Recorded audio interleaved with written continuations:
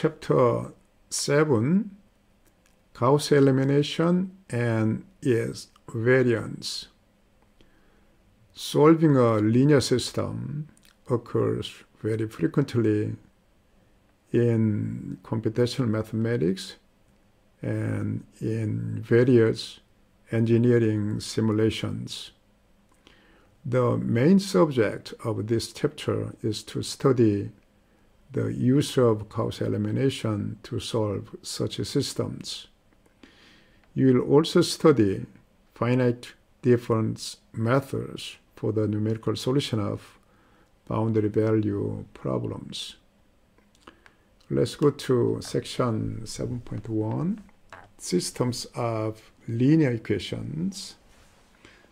Consider a system of n linear equations in n unknowns as given in this equation. Such a system of linear equations can be written into a single matrix equation ax equals b. A is the coefficient matrix, x is the unknown vector, and b is the source vector. Uh, such systems can be solved by using a direct solver or an iterative solver.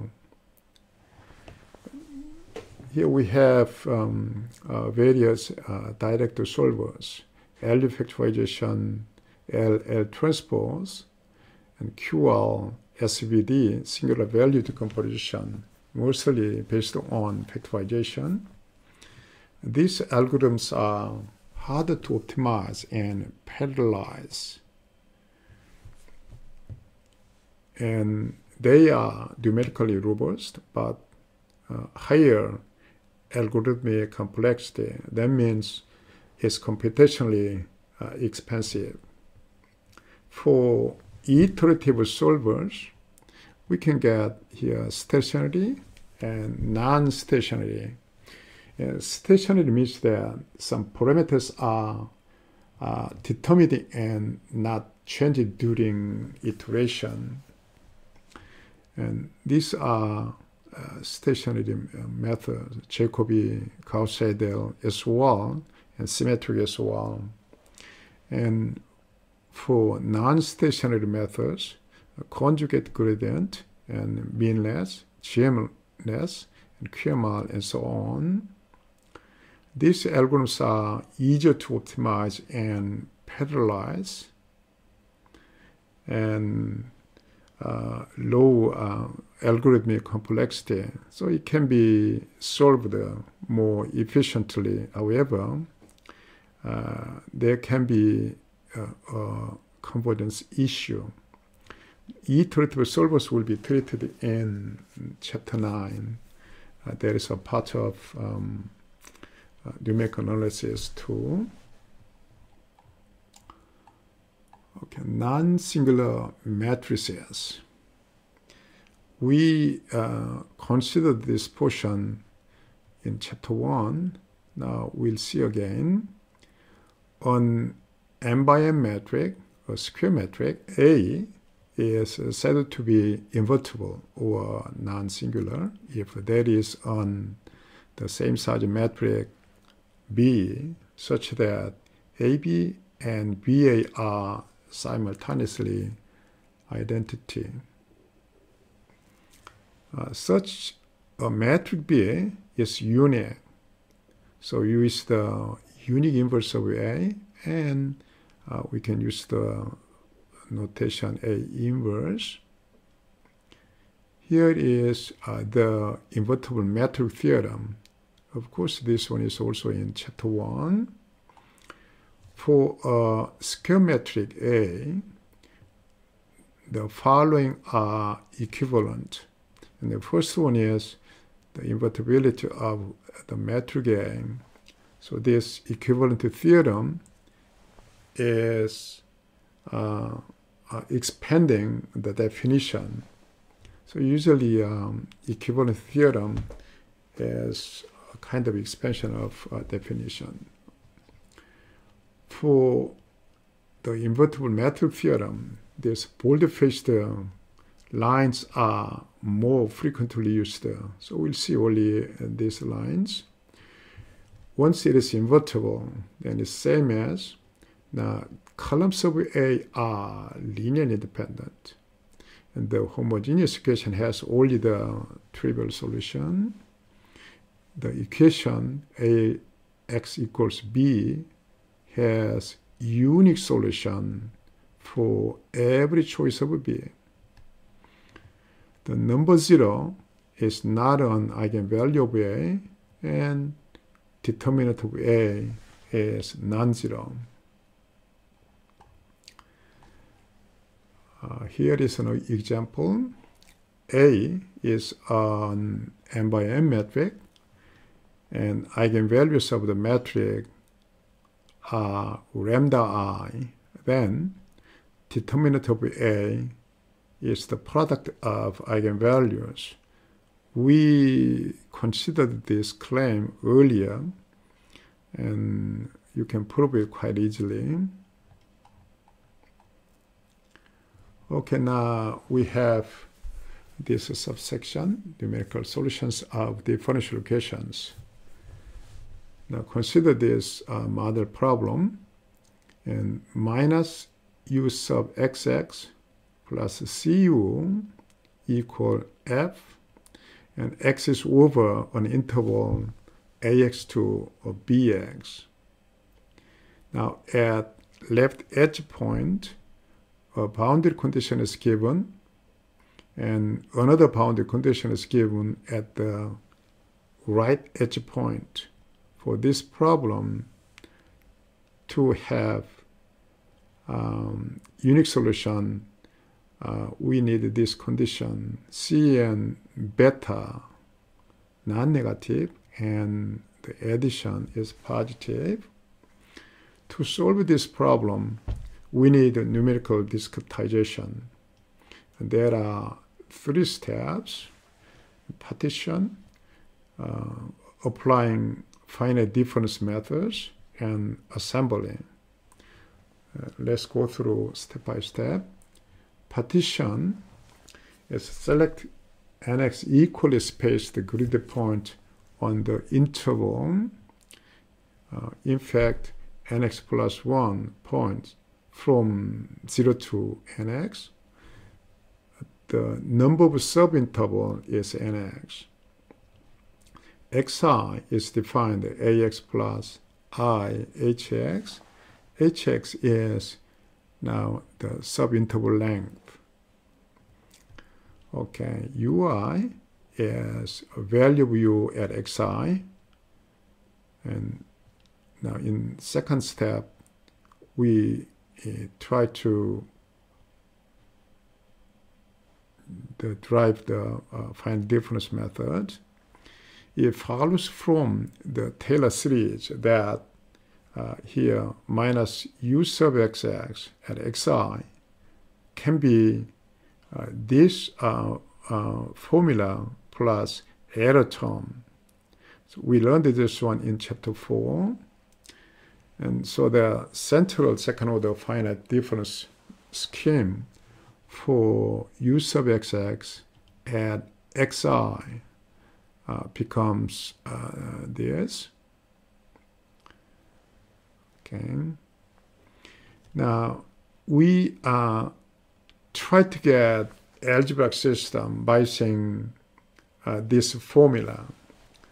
So um, for each point xi, okay, in the beginning, this equation, and at each point, we try to approximate this one by using the finite difference technique and evaluate. So that that becomes ui and that becomes f sub i.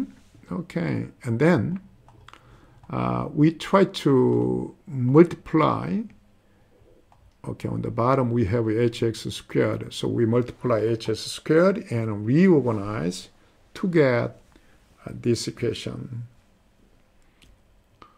easily uh, you can get uh, this equation at each point okay Now, okay, this one is defined at all point.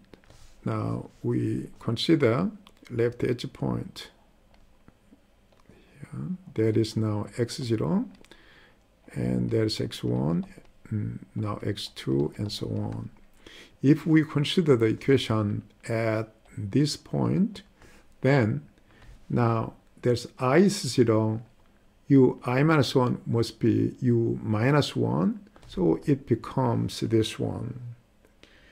Now, now however, u i minus 1 doesn't exist. ui, that is at this point, u value will be u0, that is u1. Now u minus 1 is a kind of ghost value and outside of the domain.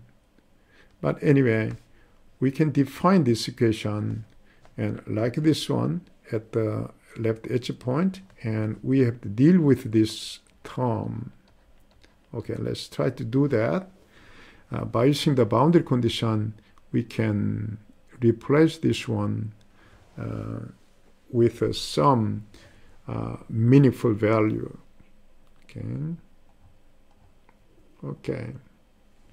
Now, at uh, left edge point, u sub x can be uh, approximated with uh, u1 minus u minus 1 over 2 hx. This is also uh, central second order scheme and the corresponding error uh, becomes like this one. So we use this one uh, for this boundary condition at the left edge point. Then again, this one is replaced by that, and then we multiply 2h and reorganize. Mm, okay, this one is um, um, okay, so that we have that on only um, change the uh, order and we reach uh, this one. 2h multiplied and at the center. And now minus u sub x is now u sub, u sub minus 1 minus this term so that is exactly this one and 2hx is multiplied to become this term right? Now we have this equation okay? We have this equation from boundary condition and earlier at the point we have another equation from the differential equation.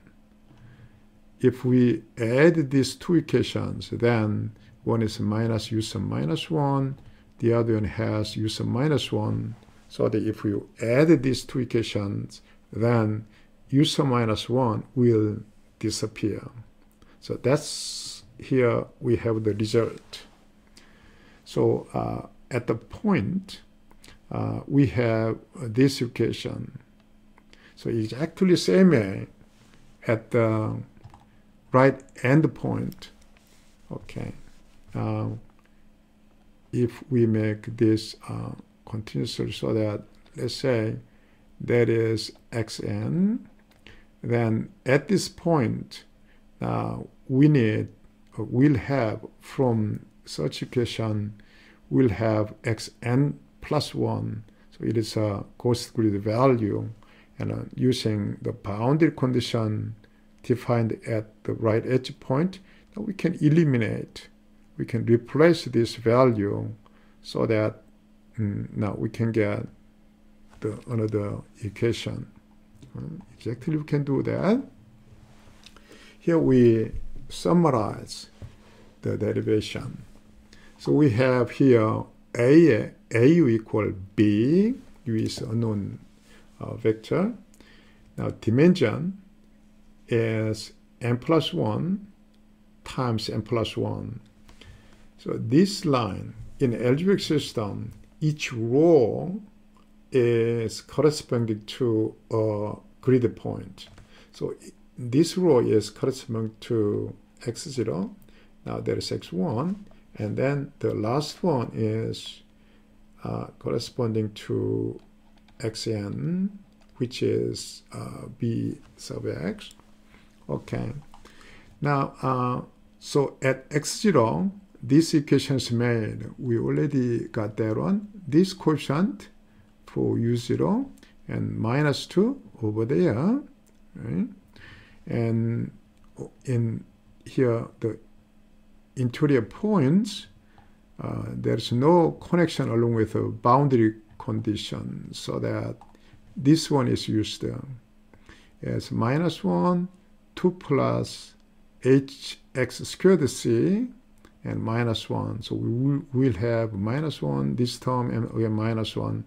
That is exactly this um, here for interior points. And then now for the right edge point, uh, similarly, we can get an equation and from the equation we have that. Okay. Now for the right side, again this one corresponds to x0. That is from the right side of uh, differential equation that comes from boundary condition here, this one and that one. But for interior points, only we have one term for the right side, h squared f sub i. Hmm, here.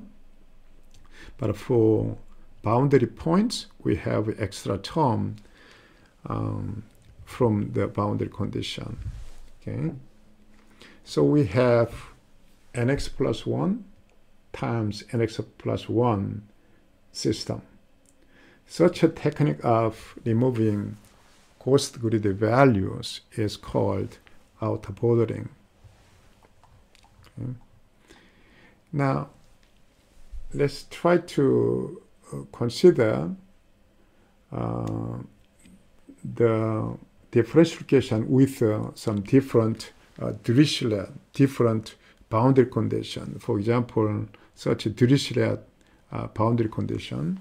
So at the right edge point, now function value, the solution is given only uh, some unknown boundary condition is given at the left edge point. So we have to deal with now that one. But this one is already uh, known so that we may apply okay let's try to consider the grid points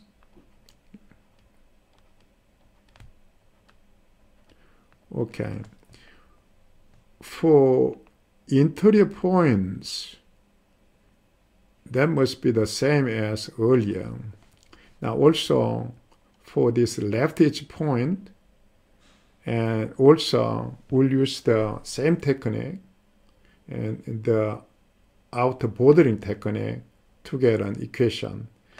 And here the bottom line is for an algebraic system in each row correspond to a grid point. So therefore each point we are trying to get a row in the algebraic system so the, the same because and this problem is the same from here to there. But for the last one, the solution value is given so that we don't have to apply the differential equation. So here, that means that we don't have to use this equation at the last point because already function value is known. Right? Okay. So therefore that one, the corresponding equation will be now here last unknown is un. Once we consider that as a part of unknown, then it's already given u b at b, u value is already given. That is equation for that point. So we can now formulate an algebraic system along with this one. Okay, so that the matrix side is the same as earlier, but now last one and earlier these are the same, but for the last one, we can deal with this one. Okay, that one is the given equation. So here there's one, then now unknown vector, once here there is a multiplied, then now here that is from u0 and then now u and x, then this row and column multiplication will make un and right side we didn't apply the differentiation so that this part is 0 but from boundary condition we have u sub b so that only the value is u sub b this multiplication is making un and now that must be same as ub right so that automat automatically when you solve this system then at the right edge point the unknown must be the same as given function value. Right? Okay, but uh, that uh, system can be written uh, along with nx times nx system. Okay, let's see that.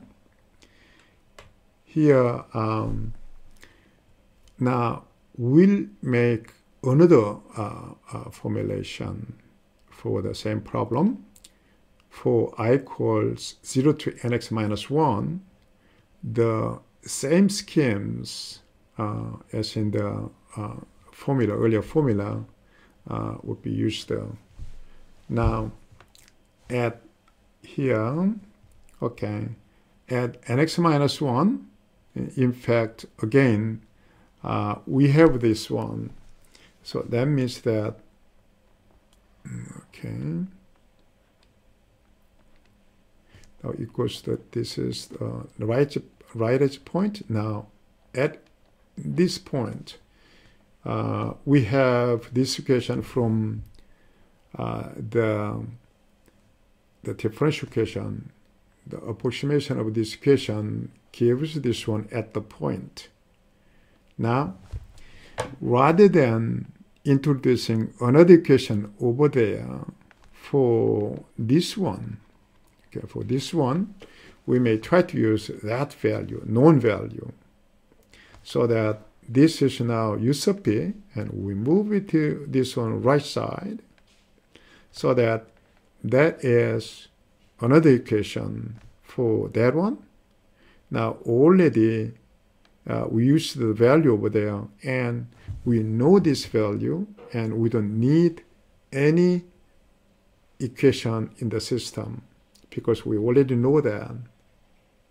So here we end with another system.